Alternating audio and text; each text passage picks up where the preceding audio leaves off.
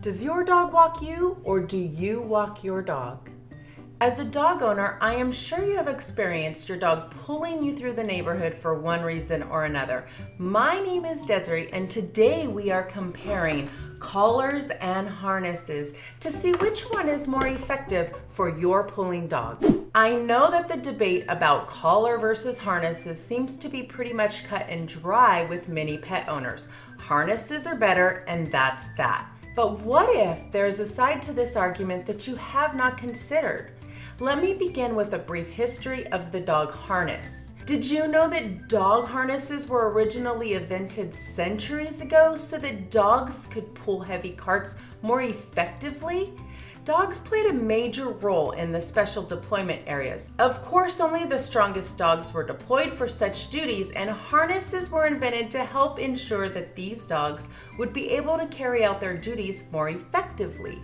Dogs continued to be deployed for work, and hence, the harness continued to be used well into the American Gold Rush in 1849. By this time, dogs had a different but very similar job. They were now deployed for the pulling of sleds, which was similar to the role they played during battle in pulling carts. Harnesses are still helping dogs carry out rescue missions as well as transport medical supplies. As you can see, harnesses played a critical role in encouraging dogs to pull. So, contrary to what appears to be the norm these days, harnesses were actually originally invented not to stop dogs from pulling, but to help them do a better and more effective job of pulling. Based on this understanding, therefore, the notion that collar versus harness debate is an open and shut case might be a little too hasty. Harnesses are not the one stop solution to dog pulling that they're often made out to be. Going by their original design, they are supposed to give dogs the comfort they need to pull more effectively, thanks to the even distribution of weight across their chest. They weren't exactly created to stop dogs from pulling. The truth that most people are unwilling to accept is that most dogs will not be corrected with a harness, especially when a dog feels a tug or pressure from the leash that is attached to that harness. You only give them more comfort and encouragement that they need to pull harder. So, if harnesses are not the solution, how are collars any better? And that's a great question to ask considering the many arguments between collar and harness safety. But first, if you're finding value in this video, consider subscribing to our channel and click that bell notification so that you are notified anytime we post new content. Now, the truth is that some collars may be dangerous for your dog.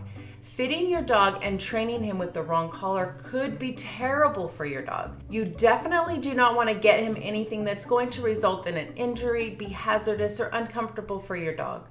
By the way, harnesses don't exactly walk away completely guilt free from this part of the conversation. Harnesses can get real uncomfortable for dogs, especially in the summer. They can also cause chafing around the elbows, which is quite painful for dogs. But the truth is, collars might be a much better option for you if you're actually looking to correct a dog from pulling as opposed to just managing it, which is the result a harness is most likely going to get you.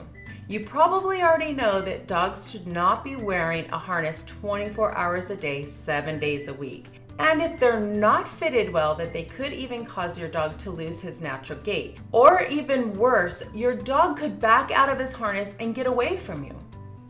Collars, on the other hand, can be worn all day, every day, indoor and outdoor, and as long as you get the right type and size of collar for your kind of dog, your dog should not suffer any kind of discomfort. Being able to clip the leash to your dog in a moment's notice is a breeze with having a collar on 24 7. A harness, on the other hand, ugh, well, see for yourself.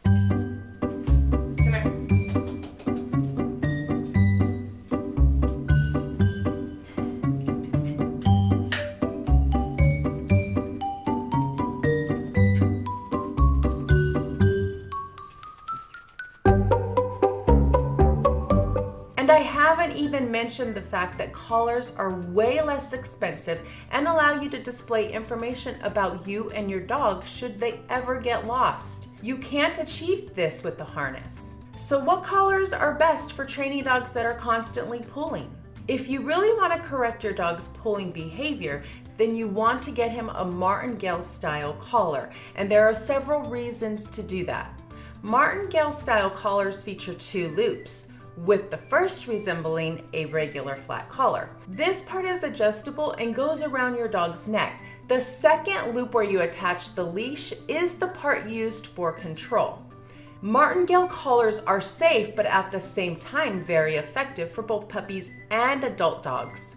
If your dog has a pulling problem, then the slight discomfort that martingale collar provides when pulled would help put them back on track so that they know what is expected of them when on a leash. And for dogs who are easily distracted or are escape artists, martingale collars will keep them in check as they will be unable to slip out of such collars. Another thing that's great for martingale style collars is that they work with a wide range of dog breeds. Even though they were originally created for dogs with narrower necks and heads, such as a greyhound or a whippet, martingale collars have grown to become more commonly used by dog owners of all kinds of dogs, especially those who are looking to gain more control over the leash. Of course, martingale style collars are not the be all end all of dog training.